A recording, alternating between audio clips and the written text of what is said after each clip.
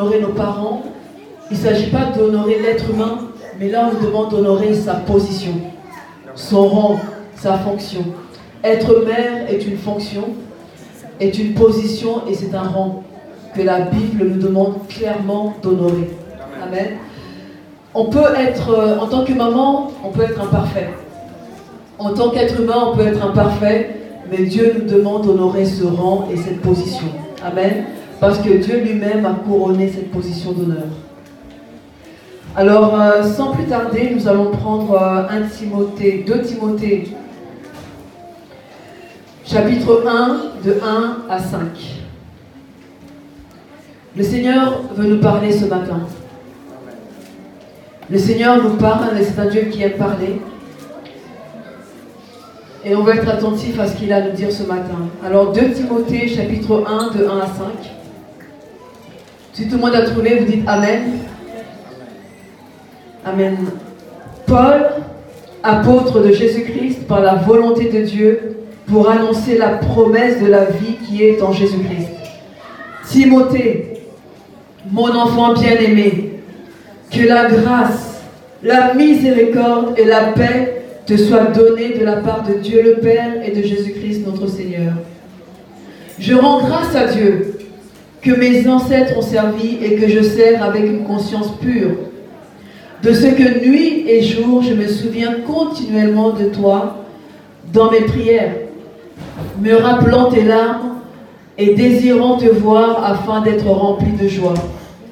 Gardant le souvenir de la foi sincère qui est en toi, et je veux bien souligner ceci, qui habita d'abord dans ton aïeul Loïs, c'est-à-dire sa grand-mère, Loïs, et dans ta mère Eunice, et qui, j'en suis persuadé, habite aussi en toi.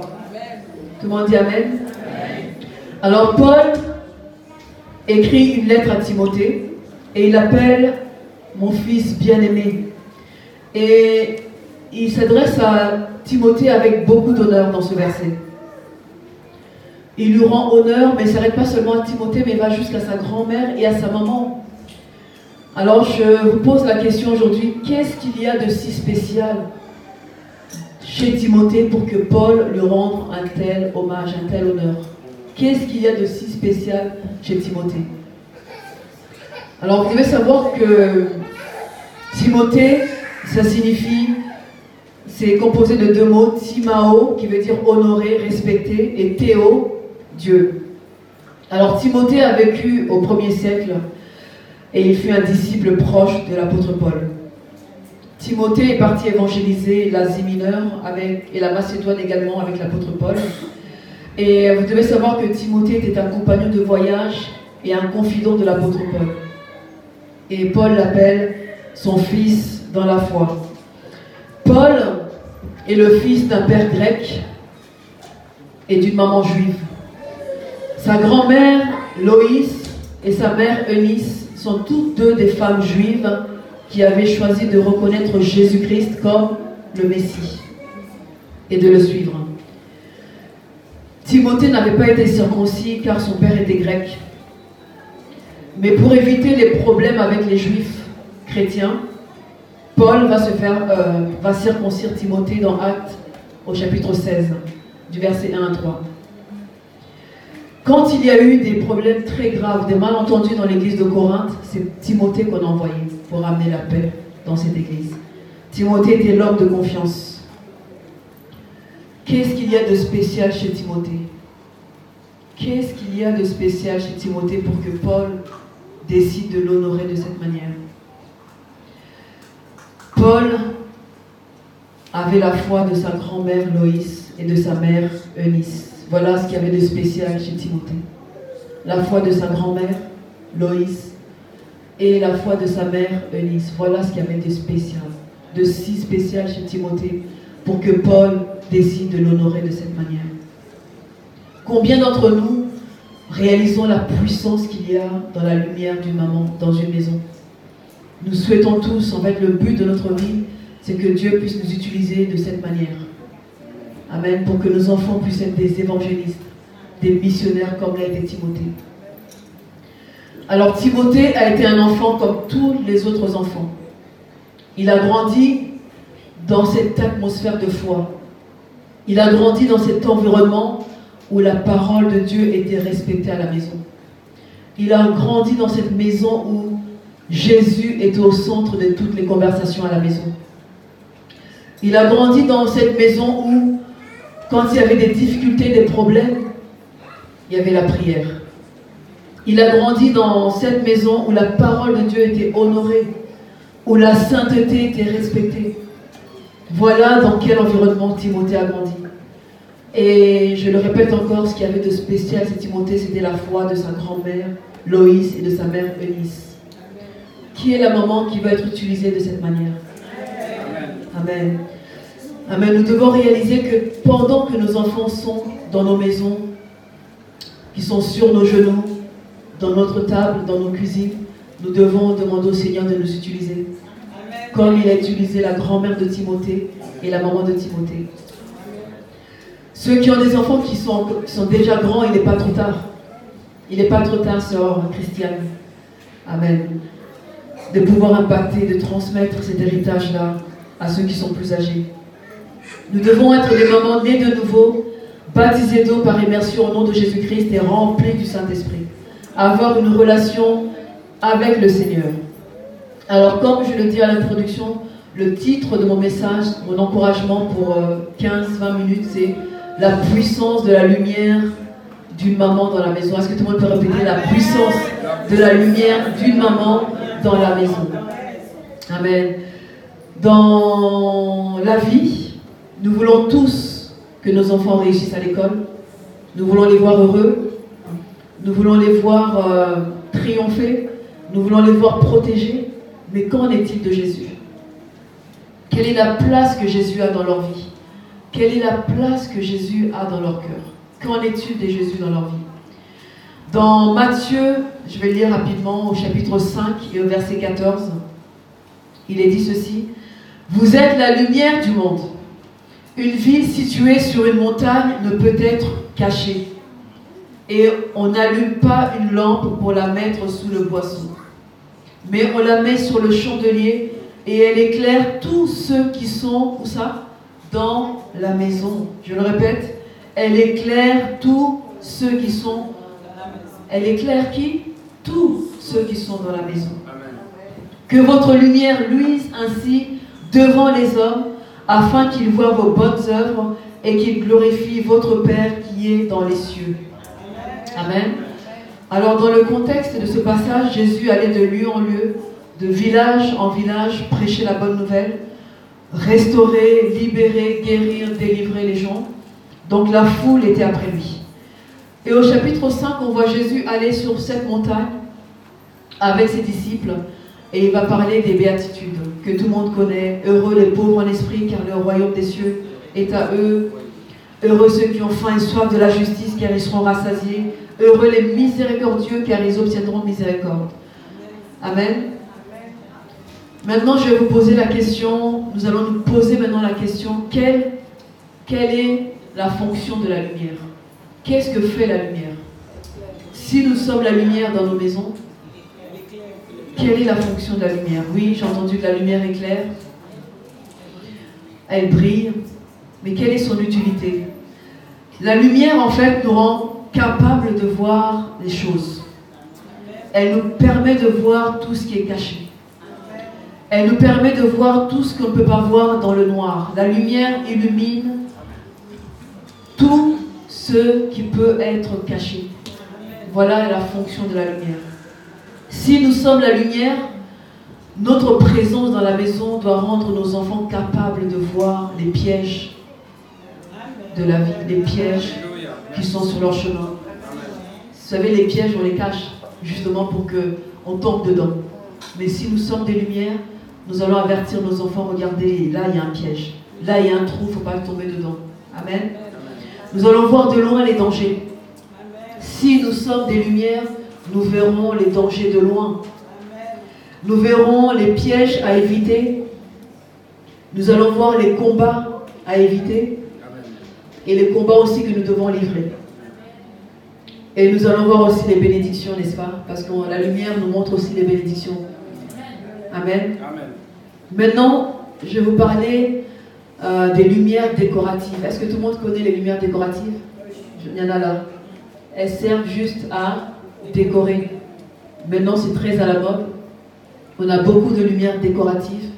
On a des lumières qui décorent des plafonds, des murs. Euh, elles ne sont pas utiles, ces lumières-là. Elles, sont, elles servent à rien parce qu'elles ne sont pas puissantes, en fait. Euh, on ne peut pas les utiliser pour bien voir, pour bien discerner. Elles sont là juste pour euh, la beauté, pour faire joli. Et il y a des personnes qui sont des lumières décoratives dans leur maison. Avec ces personnes-là, on ne peut rien voir, on ne voit rien. Elles sont juste là pour décorer la maison. Elles ont la beauté extérieure, mais elles ne sont pas utiles pour les besoins de la vie. Quand on regarde à l'intérieur de ces personnes-là, on voit des personnes remplies de jalousie, de rancune, parfois de tristesse. Et parfois ces personnes ont la rébellion dans leur cœur. Elles n'ont aucune compassion dans le cœur. Elles n'ont pas d'amour ni de passion pour l'évangile. Ça, ce sont des lumières de décoration. Les lumières de décoration n'ont aucun impact, aucune influence dans une maison. Elles ne servent qu'à décorer. Nous avons aussi des lumières spéciales qui servent dans les théâtres, mais ces lumières-là sont très très puissantes. Elles renvoient des lumières très fortes. Et avec ces lumières-là, on nous dirige vers les choses qui sont importantes à regarder. Et avec ces lumières, on peut voir tous les petits détails. Il n'y a rien qui peut nous échapper. On a aussi de lumière dans nos cuisines. Et ces lumières sont très très utiles. Pourquoi? Parce qu'elles nous permettent de faire la vaisselle. On ne peut pas faire la vaisselle dans le noir. On ne peut pas faire un gâteau dans le noir. Donc ces lumières nous aident à préparer des repas, à faire des gâteaux. Donc ces lumières-là sont très utiles dans notre cuisine. On a aussi des lumières dans nos salons et dans nos chambres. Si vous avez cette lumière en vous, vous êtes très utile. Pas seulement dans la maison, mais aussi pour la ville, dans votre lieu de travail, dans vos familles et parmi vos amis. Alors ce matin, nous allons examiner notre lumière. Tout le monde dit, je vais examiner ma lumière. Je vais examiner ma lumière. Amen. Si votre lumière est décorative, cela veut dire quoi? Si votre lumière ce matin est juste décorative, cela veut dire que vos enfants ne vous voient jamais lire la Bible à la maison. Si votre lumière est décorative, cela veut dire que les enfants ne vous entendent jamais prier à la maison. Si votre lumière est décorative, ça veut dire que vos enfants entendent des paroles négatives sortir de votre bouche, des critiques, des paroles très très négatives. Si votre lumière sert juste de décoration, ça veut dire que vos enfants ne vous entendent jamais dire merci Seigneur. Et cela fera de vos enfants une génération qui n'aura aucun respect, aucun respect pour les principes bibliques et pour la parole de Dieu. La lumière d'une maman est puissante. Tout le monde dit que la lumière d'une maman est puissante. Elle permet à toute la famille de voir les choses qu'elles étaient incapables de voir sans votre présence à la maison. Maman n'est pas là, on ne voyait pas tout ça. Mais maman est dans la maison, on comprend. On voit clairement, on voit distinctement. Amen. Vous voulez être cette lumière? Votre présence permet aux enfants, permet à toute la famille de voir clairement, d'avoir de discernement, de prendre des bonnes décisions. Amen. Ne cache pas ta lumière. Dites à votre voisine, ne cache pas ta lumière. Amen. Moi, je veux savoir que dans les moments difficiles, je veux que mes enfants disent de moi que non, quand tout allait mal, maman a prié.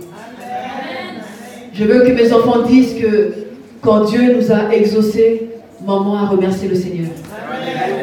Je veux qu'on dise de moi qu'elle n'est pas restée dans les problèmes sans chercher le secours de l'Éternel. Il y a quelque chose de spécial au sujet des mamans qui n'attendent pas que les problèmes arrivent pour prier. Il y a quelque chose de spécial au sujet des familles qui n'attendent pas que la tempête arrive pour se mettre à genoux. Vous savez pourquoi? Souvent, nous avons des victoires temporaires. Nous gagnons des batailles, mais d'une manière temporaire, pour un temps. nous avons la paix. Pour un temps, nous avons la victoire, mais ça ne dure pas. Vous savez pourquoi? Parce que nous sommes des mamans réactionnaires. On réagit quand il y a le danger. On réagit au problème, à la tempête. Donc on réagit, nous sommes des, des mamans qui réagissent. Mais nous ne sommes pas révolutionnaires. Si vous voulez avoir des victoires non temporaires, vous devez être des moments révolutionnaires. Tout le monde dit révolutionnaire. C'est quoi la révolution? C'est jeûner.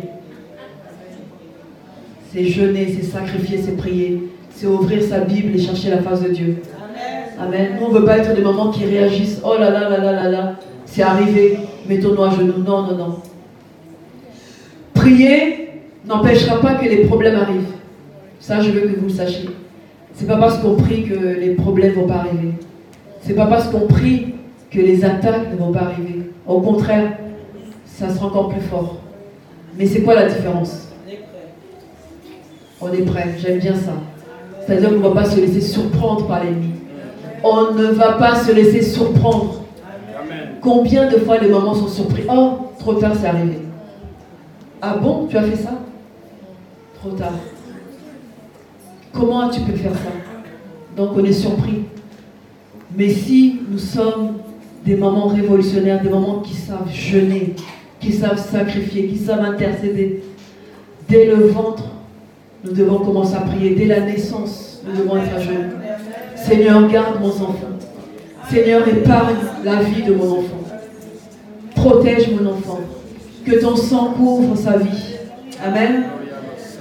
Nous voulons rester debout pour veiller sur la sainteté.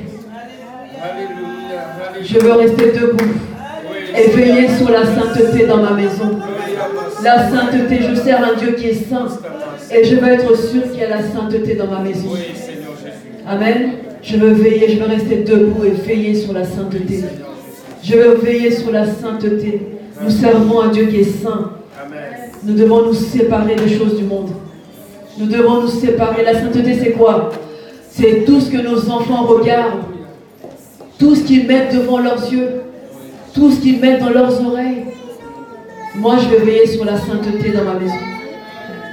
Je vais veiller que mes enfants ne regardent pas des dessins animés qui vont les souiller, qui vont les salir. Je ne veux pas que mes enfants regardent des films ou des choses à la télévision qui vont les souiller, qui vont détruire leur âme. Je ne veux pas que mes enfants écoutent la musique du monde ou des musiques soi-disant chrétiennes où Satan s'infiltre pour amener la rébellion.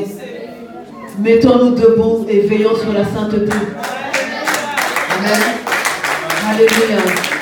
Honorons le Seigneur. Veillons, tenons-nous debout pour que le nom de Jésus soit honoré dans notre maison. Pour que le nom de Jésus soit honoré dans les chambres de nos enfants. Pour que le nom de Jésus soit honoré dans notre cuisine, dans notre salon, dans toutes les pièces de notre maison, le nom de Jésus doit être honoré. Alléluia. Veillons et tenons-nous debout pour la doctrine. La doctrine est la colonne vertébrale de l'Église. Aujourd'hui, on entend toutes sortes de choses, mais si vous enlevez la doctrine, il n'y a plus d'Église. L'Église est née dans la prière, mais l'Église tient debout par la doctrine. Amen. Que ta lumière brille. Dites à votre voisin que ta lumière brille. Amen. Libérez la puissance du pardon dans votre maison. Si quelqu'un vous fait mal, si quelqu'un vous blesse, n'attendez pas ses excuses pour pardonner. N'attendez pas que la personne vienne vous demander pardon ou qu'elle vienne reconnaître, voilà, j'ai fait ça, j'ai fait exprès, j'ai fait... Non, n'attendez pas ça. Libérez le pardon. Si vous libérez la puissance du pardon, votre lumière va briller. Elle va briller, elle va briller, elle va briller, elle va briller comme jamais. Alléluia. Nous voulons nous tenir debout. Nous voulons nous tenir debout par la façon dont on s'habille. On ne veut pas ressembler au monde. On ne veut pas être des mamans sexy. si la tendance du monde est d'être sexy, ça c'est pas chrétien ça. Des vêtements moulants, décolletés, ça c'est pas chrétien. La Bible nous demande d'être modeste. Amen. Est-ce que vous regardez sur vos pensées? Comment sont vos pensées? Est-ce que vous êtes des mamans qui avaient envie de servir le Seigneur de temps en temps? Quand bon me semble. Nous ne voulons pas être euh, ce type de maman. Nous voulons que la Bible soit la base de la culture de notre maison. Amen. Et vous, maman qui élevez seule vos enfants, comme Sœur Nathalie l'a dit tout à l'heure, vous n'êtes pas seul. Le Seigneur est avec vous. Tenez bien fort votre lampe éclairée. Vous qui êtes dans la solitude ou isolé, tenez bien fort votre lampe éclairée. Vous qui avez des difficultés peut-être ce matin, ou des besoins particuliers, des besoins spéciaux, des problèmes euh, dont vous n'avez pas encore obtenu la réponse, tenez votre lampe, tenez-la fort. Ne vous découragez pas, n'abandonnez pas. Ne baissez pas les bras, ne baissez pas la tête.